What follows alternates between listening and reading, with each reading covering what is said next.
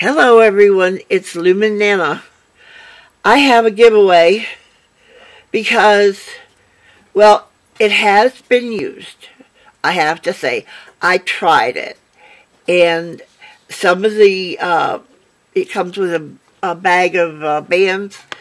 Some of them are, I used them. And I don't care for this. And it's been too long to take it back at Michael's. So I'm going to give this away.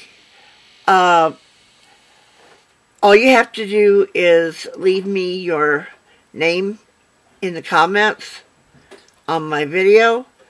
And I really hope that I get a lot of people because I haven't been on a lot lately. So, uh,